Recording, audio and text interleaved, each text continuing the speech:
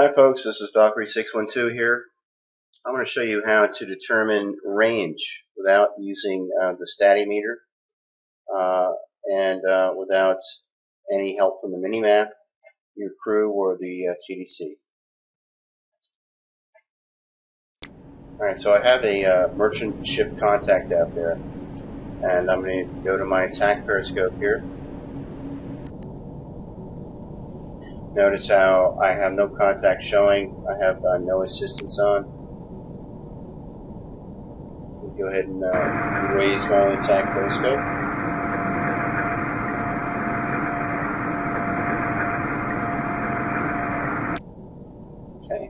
You can raise your attack periscope to the uh, horizon. Uh, that will help with this, with this application.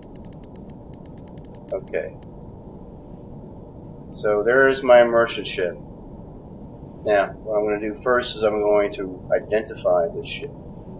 Having uh, played this game a little bit and uh, being um, familiar with the ship Recce, this is a uh, Liberty ship. But just to show you, let me go ahead and pull up my ship Recce.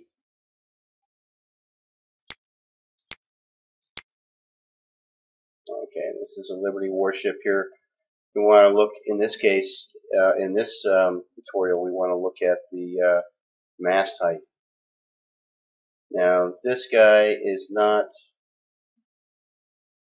this is not the Liberty ship that I'm looking for. I want to look at, uh, this is a British ship, though. This is how I know that this is, this is a ship. And notice that there's a British flag here. So his mast height, in this case, is 27.1 meters. Okay, so restart the game. So what I'm going to do is use my 1x power here. And uh, I want to uh, select his tallest mast, which is going to be this one right in the front here. So that's 27.1 meters from the top of the mast to the uh, waterline. And I'm going to line up crosshairs with the top of the mast about right there. And I'm going to look over to the left where these little tick marks are here. See where my cursor is? Each tick mark is about uh, one degree of arc. Okay?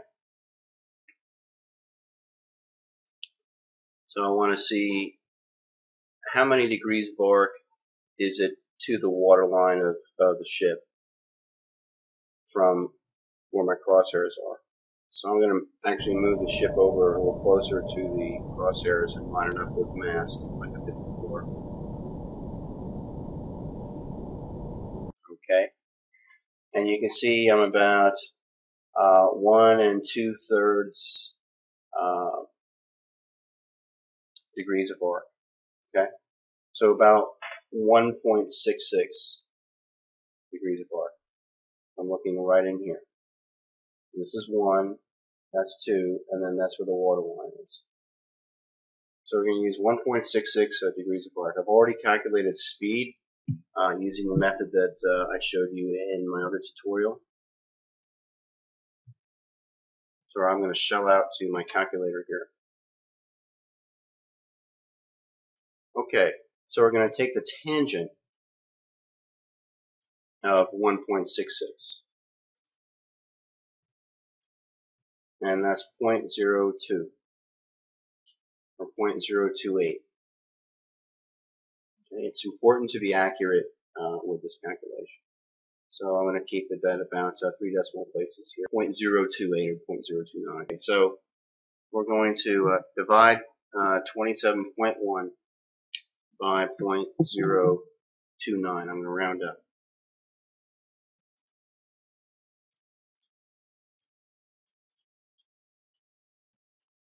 I get about 934 meters.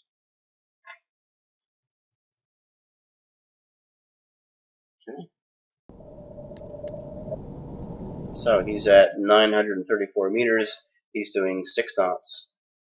Okay, so I'm going to put it at 6 knots here. A manual. 942 meters. It could be within 50 meters, that's fine. 900.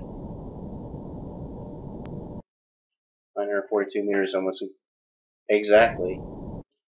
Okay. Now, uh, I, just looking at the ship, he's crossing from right to left. I've got a, a, a very clear uh, view of his beam on the side of the ship. So he's going to be anywhere between uh, oh, 60 and uh, 120 angles off bow. So I'm going to split the difference there and say that he's going to he's at about 80 at this point. I'm going to put my crosshairs right here at 25 uh, degrees. And I'm adjusting my bearing right now. That. Okay, now I'm just going to open my torpedo doors and shoot. I want to shoot right now, actually, while my crosshairs are uh, in the center of the ship.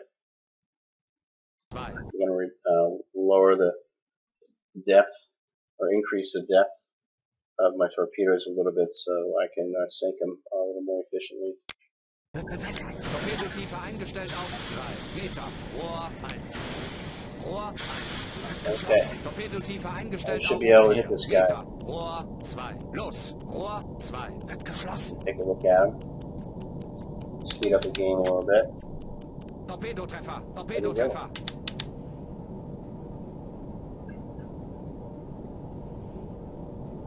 Okay, so that's how you determine the range of a ship uh, without use of any help.